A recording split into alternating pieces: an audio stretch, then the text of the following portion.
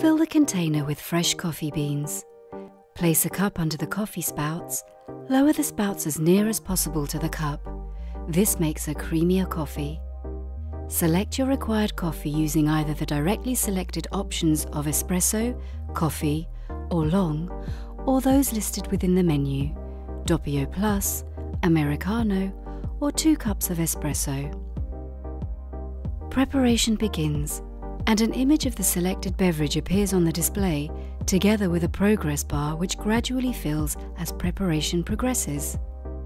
You can prepare two cups of espresso coffee at the same time by also pressing the selector corresponding to 2x, 2 times, during preparation of one espresso.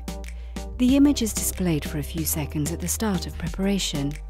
While the machine is making coffee, delivery can be interrupted at any moment by pressing the selector corresponding to stop. As soon as delivery has ended, to increase the quantity of coffee in the cup, just press the selector corresponding to Extra.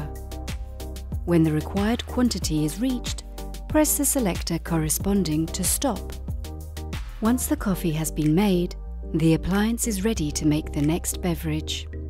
Various alarm messages could be displayed while using the appliance, for example, fill tank, empty grounds container, etc. Do not use green, caramelized, or candied coffee beans, as they could stick to the coffee mill and make it unusable.